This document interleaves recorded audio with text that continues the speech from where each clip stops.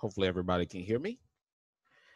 This is the third video um, that's based on the um, chapter over the classical symphony. And as you notice, I'm doing something different. I'm recording this with Zoom instead of the uh, other ways I recorded it. Find this a little more easier. Um, but anyway, nevertheless, let's get started. Um, this is the classical symphony, and we're going to talk about um, symphonic music in the classical period and what distinguish um, symphonic music from chamber music. Also, want to tie up some loose ends about the upcoming tests that's going to be um, that's going to um, should already have started, but I um, want to give you some more information. Um, so I'm sure a lot of you are not going to take the um, the test yet. You're probably going to wait uh, to take it, but just need to type some loose ends about that test. Some of the questions um, I want to address on it, um, and um, so this is going to be a combination of those two things. Okay, without further ado, let's get started. Hopefully, the sound is really good. I think it is, and we're going to go into the classical symphony. Um, so let's talk about it. All right, so the symph- symphonic music and I guess what I need to do is, well, first thing is let's give a historical background about it. Okay. So symphonic music is really important. Um, and and basically, I think from a historical standpoint, we have um, a lot of important things um, to say about how important it was, uh, particularly in the classical period. Um, it held a central place in instrumental music. So, at the basis of symphonic music is instrumental music. Basically, no vocal. Um, well, a lot of the music that is produced um, or written for symphony didn't um, ask for vocal um, uh, for vocals, or it didn't include vocals. Now there are some exceptions to the rule. Beethoven's um, Ninth Symphony, his Final Symphony, does have a big vocal number um, at the end, uh, which is the joyful, joyful um, um, um, part of it um, that everybody know. Okay, which is you know if I were to play you that. Uh,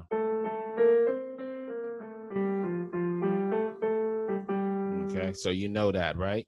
So that that did include uh, the vocal um, vocals in it, um, number of different um, soloists and even a big massive choir. But for the most part symphonic music is actually for the is is instrumental music.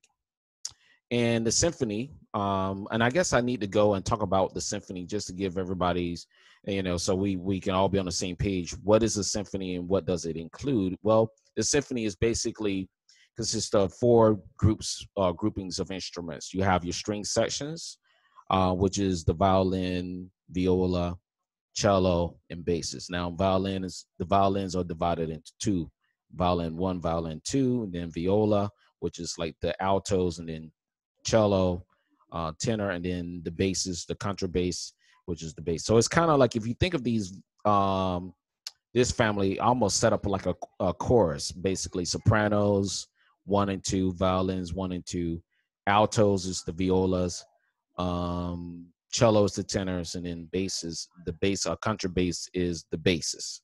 Okay. Um, I like to use that analogy when it comes to that.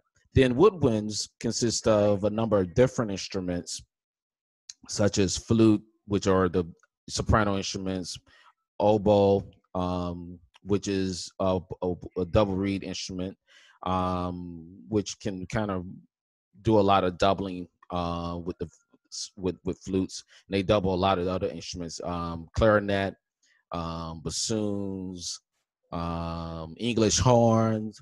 It's really a very uh, diverse groupings of uh, of instruments in the woodwind family. Then we have the brass, which um, in some ways pretty homogen uh, homogenized, but d- definitely some differences between the, the, instruments. Trumpets, of course, um, more of a soprano instrument, trombones or bones, more of a tenor.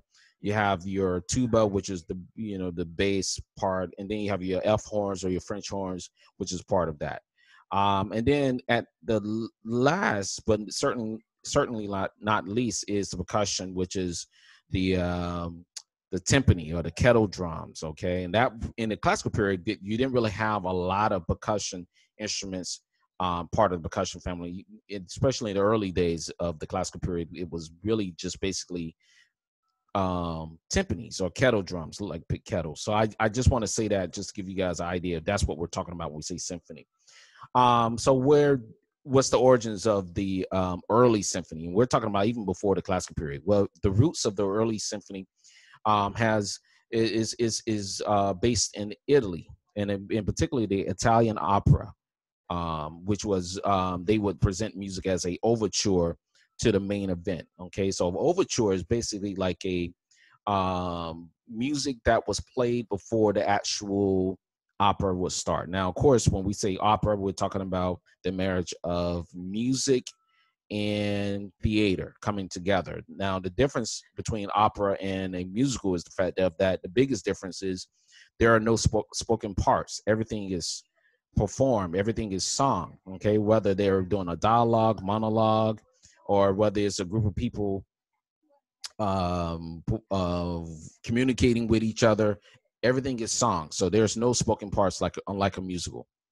But the overture uh, was presented with, with, with uh, you get a uh, the the symph- the symphonic players would uh, accompany the opera, but before the opera actually start, they would uh, do a single piece, which would usually be uh, structured as a three part form, like A section, a B section, and, and then another A section. So a ternary form. And then as the pop as it grew in popularity, so the uh, the overture also it became more into a multi movement work. Okay, now we we've seen heard that word before, uh, multi movement, um, and I explained in in the other lectures that the multi movement is basically you know you have uh, one particular piece of music but then you have different movements of that all right? But they all are uh, are uh, grouped together in that particular work. So it grew into this multi-movement work that we see a lot in chamber music as well as uh, even solo music such as sonatas. Um, it became apparent even in symphonic music as it grew from being just a opera overture into its own entity okay um, and innovations occurred. One of the innovation were um, was the uh, rocket theme. Uh, and you've seen this on a quiz, but you should know what this is. The rocket theme is a, basically a melodic line um, that ascends uh, from the lowest note in the highest register, um, from the lowest note in the register to the highest note in the register excuse me. Um, basically kind of like a like a descending line. So if i were to play a melody that starts on one particular pitch and then it goes up um, maybe uh, you know kind of like that. Now that's just something i just made up. Or you know Eine kleine Nachtmusik which we heard in the chamber music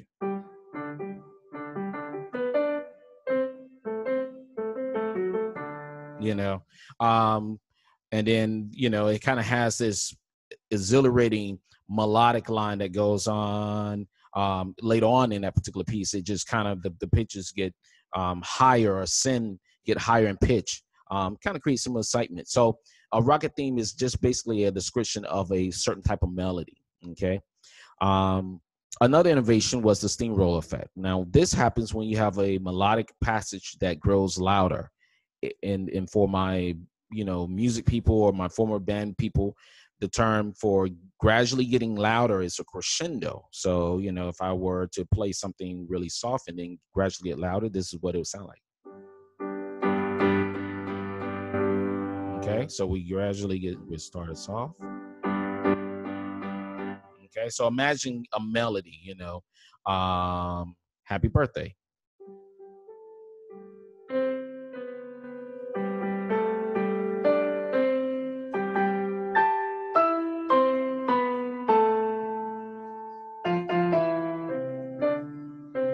Okay, so that's a probably example of that using that steamroll effect.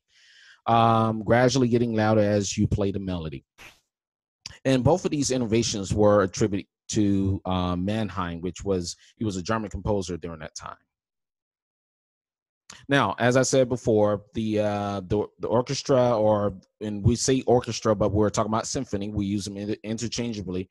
Um, were are grouped in different families, and many composers help to establish that. You know, one thing about innovation in anything, and especially in just like any other things, and as well as music, is not one person is going to innovate everything or going to create one particular style of music or one particular ensemble. Um, it is really all many hands contributing to uh, what we know um, certain styles of music is today. Okay, so you just can't say one person started this type of style of music or, or, whatever. It's really many different people. Although you may have somebody that may be responsible for uh, major innovations and stuff like that, and and different things like that of that nature. But it's really a group effort, and sometimes you have your unsung heroes. Um, but yeah, we have the four groups: strings, woodwinds, and brass and percussion. Went over that, and we talked about those different groups. Now, we combined the, the, four different families, right? We really during this time the classical symphony consists of 30 to 40 people. Okay, when you combine all of them together when they play.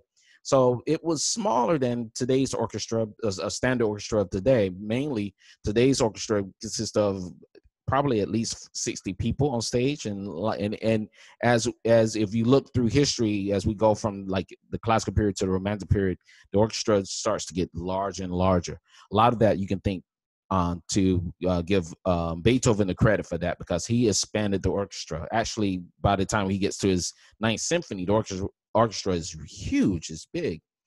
Um, but the classical period, the orchestras were pretty small, made appropriately for saloons more so than a, a modern concert hall today.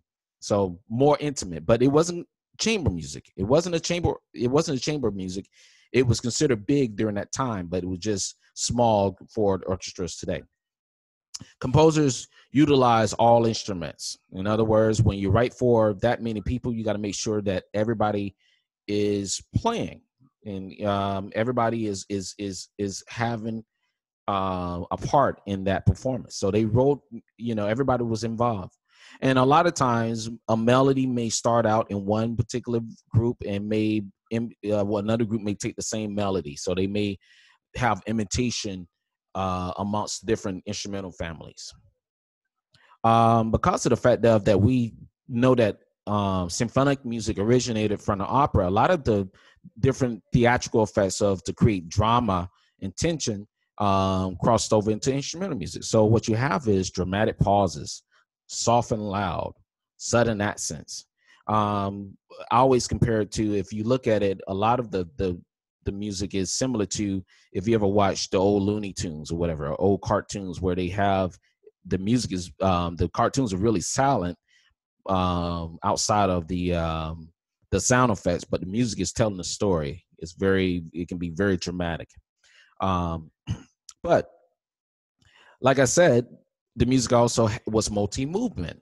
Okay, so it's more than one particular movement. First movement, and I'm going to run through these pretty fast um, because the simple fact of that we're we're not going to go um, we're not going to go through um, every single thing, but just know that the first movement had different characters. Okay, now one of the things about the I will say this about the first movement, it was often in sonata allegro form. Okay, so exposition, development, and theme. Exposition gives you the melody to the to, to the, the entire movement of that first movement development takes the melody and basically reshapes the melody um, go through different keys different modulations and then um, this is a I, theme i theme supposedly should be recap recapitulation i'm sorry recapitulation is the recap of that um, melody or melodies because usually you have two melodies or two themes that are presented in that position. Um, but some composers started to do some uh, do different things with the form of a sonata uh, the first movement. Instead of having two melodies and have them in contrasting key some of them would have a monothematic which mono means one. And basically um, like in Haydn's, he wrote a lot of symphonies. The theme would start out on a tonic and then it reinstate itself um, again it'll come back but it'll come back in a different key so the same melody twice in two different keys um, but usually uh, the traditional scheme for the first movement was exposition, de- development, and recapitulation with two different melodies. Um, and and and this is all based on that sonata allegro form. Um, Beethoven was somewhat similar to Haydn um, in a lot of ways. He, but he drew from Haydn and Mozart, being that he was the younger of the two gentlemen, um, and he was the last um, of the the classical, and he was the bridge between the classical and romantic period. He often created his melodies from small motivic ideas, such as his Fifth Symphony. We'll take a uh, short listen to that. Now, the motivic or motive, M O T I F, is really important. That's an important word. A motive is basically a small melodic idea. Okay. So, in other words, it's not like a long melody. It's, it's a short, very short melody, if I were to put it in layman's term, very short, um, that is repeated or uh, not repeated, but um, that is um, written in different registers of the piano. And I'll give you an example of that. It's, the Fifth Symphony is a wonderful example of that. Um, also, um, another other forms of, of of like the second movement could be a theme and variations or something or so there was another word that was applied to themes and variations. We talked about theme and variations, but we call it the modified allegro, sonata allegro form, which is another word for theme and variations. Usually, um, you do have a theme, which is in the key, um, other uh, usually in a key other than a tonic. In other words, if the first movement was in the key of C, then the second movement would be themes or modified sonata allegro form, maybe in a different key, maybe in a key of E flat, you know. Um, and so a lot of times the second movement is very lyrical, um, uh, emphasis on woodwinds, um, as a uh, taking the the lead when it comes to the melody. A lot of times strings played a big part of of, of the a lot of the music. Um, took on the role of of uh, working, uh, playing of, of written a lot for the strings because strings was the largest group of families in the uh, in the symphony ensemble. But other instruments would take the lead too as well. And then the third movement is basically more of a dance triple meter, minuet and trio. Um, not very fast, but not very slow, but somewhere in the middle. And often, usually a ternary form, original key in the tonic. And um, but Beethoven, once again, Beethoven starts to do some things with uh, the multi-movement scheme and started change things. And, and he um, starts to replace the minuet and trio with a, a scherzo, a scherzo, which is a scherzo is a, a piece that is pretty fast. That's in three four, or some form of a waltz, but a pretty fast waltz. And then the fourth movement is basically the finale. It's the big ending, and it's usually going to have a lighter move than the first movement, and it's going to end on a high high note. And it's it's usually categorized uh, characterized as being pretty fast, uh, pretty involved, um, and pretty big. So we do have a lot of different things um, that goes on. I want to take a quick movement, uh, quick look at um, Beethoven's Fifth Symphony. And the Fifth Symphony is one of his best known symphonies. And I'm sure that you guys heard it before. I'm going to play a simple, that motive that I was talking about, a short melodic line. Okay, that's a motive.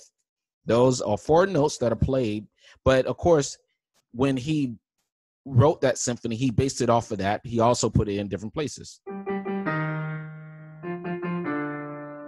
Okay, so I'm going to show you a quick, um, uh, just a quick snippet of that. And now I will say this: that this particular symphony, as a whole, the Fifth Symphony, has a cyclical form. Basically, where you have a melody from one movement that returns in another movement. That what that's what cyclical means.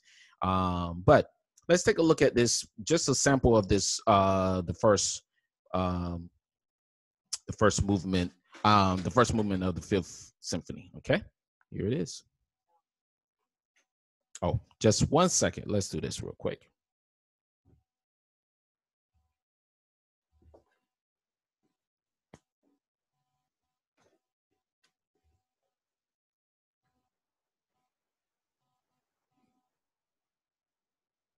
Got to make sure you guys can hear it first from the computer before I uh, try to play it. Okay. Here it is.